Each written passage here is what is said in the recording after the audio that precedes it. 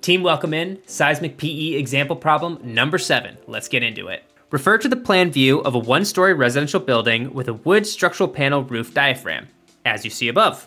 The roof has a four foot overhang. The seismic load is shown in the north-south direction, over here not drawn my north. The redundancy factor is 1.0. For the north-south direction, the roof diaphragm shear force at line one and two is most nearly what? For today's problem, we are assuming that at grid line one and grid line two, we have some type of vertical lateral element along those grids that are giving support to our vertical lateral system. In green, you see our seismic story force, and you might be thinking, well, uh, let me start to break down this problem. What type of material code or provisions am I gonna need to get into to uh, come to a solution? Uh, you kind of pick through the problem statement and you see, oh, they're talking about a wood structure and they make specifically talk about a wood structural panel roof diaphragm. Seems important, maybe I need to head to the NDS. In this case, you're not gonna be heading there today because uh, this problem is more so boiled down talking about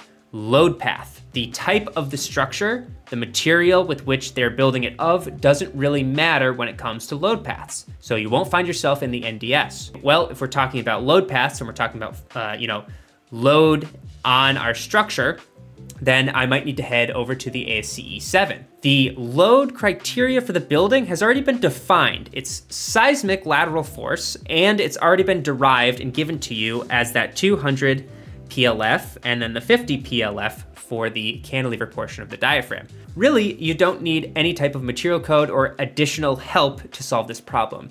This one is designed to test you as an engineer at a high level in understanding load paths and where load goes in a building structure, depending on the type of diaphragm that you have, whether that be flexible or rigid, as we know. So today we're gonna be using more of that intuition as the engineer that you are to get the correct solution. Now, right before we dive into today's problem, I wanna announce a first for this channel and thank Brilliant for sponsoring today's video. Brilliant is where you learn by doing. With thousands of interactive lessons in math, data analysis, programming, and AI, there's something for everybody.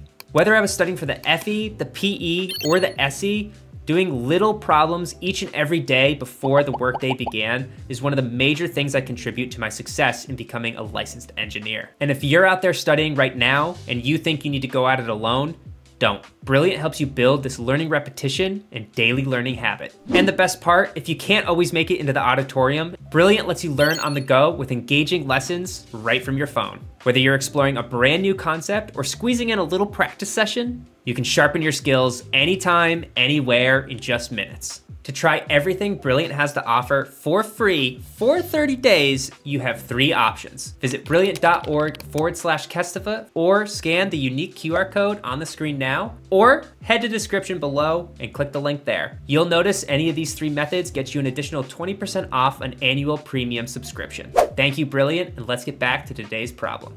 Now, the first thing I notice is in this problem statement, we have a wood structural panel roof diaphragm. Those types of diaphragms can be idealized as flexible diaphragms. Technically, that is information that is spelled out in the ASCE 7. However, if you didn't know that off the top of your head, you, you could technically go there. So I said we don't need to go anywhere today. So because we have a flexible diaphragm, we know that we can idealize this diaphragm as kind of a simply supported beam on its side. We've talked about that in, um, in videos in the past. But let's draw our, uh, our simply supported beam. And we're gonna draw it in two sections here. That leaves us with two systems that boil down to something like this. You have a simply supported beam between grids one and two, and then you have a cantilevered post going from grid two off to page right. We have our load W, which was our 200 PLF, and then we have our load, I'll call it W prime, which was our 50 PLF. We know that we need to get the shear demand at grids one and two to solve this problem. That means we're gonna draw, I'll scroll down here, our shear diagram. If I can draw it somewhat accurately, yeah, it's not bad. Let's start with grid one. And we know for a simply supported beam with a uniformly distributed load, we can get V equal to WL over two. And then we know that that is an equal and opposite reaction at the other end of the beam. So over here will equal V as well. Let's plug in for those. V sub 1, I'll call it, equals WL over 2. If we plug everything in, we have a span between supports of 80 feet. That gets you 8,000 pounds. That is the only force that's going to find its way over to grid 1. So that is the first part of our solution.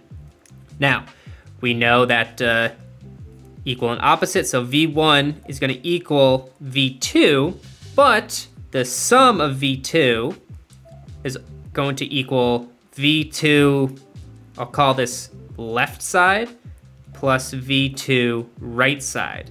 So the left side is the simple, uh, simply supported, and the right side is the cantilever. So now we need to find, we need to find V2, uh, do I want to call it 2? I'm just going to call it V cantilever, which we know uh, you could dive into the steel manual if you didn't know these these simple equations off the top of your head. They have some great tables in there that give you your shear moment deflection diagrams and equations. Uh, is equal to W times L, uh, and we'll go W prime because W prime we said was 50 PLF. This VC we also said uh, calling it V2 right. All right, let's plug all that in. So V2 left it's just the 8,000 plus W prime L, which equals 50 PLF times four foot cantilever, really small cantilever. This portion here is an additional 200 pounds that grid two is going to see for story shear. So summation of V2 is equal to 8,200 pounds. And that, as quickly as it came, is the second part, or the second solution to our full problem here. So if we scroll back up, I'll go green. I'm gonna say C is what we wanna be going with here today. I wanna caution everyone that when you're doing this uh, idealization of, of a beam being representing your diaphragm, that you do not draw it as one continuous solid beam. And then you have basically that beam is continuous over that support at grid line 2, which creates inaccuracies when distributing your shear force to your different boundary conditions. Because we know that if we do have a continuous beam, then you can translate moment across that joint and it creates different values across the length of the beam. So you wanna be careful about that. Thanks for watching, thanks for subscribing, and thanks for interacting in any way possible. And thank you Brilliant for collaborating and sponsoring today's video and supporting the engineers of the future. This is Rich with Team Kestava, and I'll see everybody next time. Peace.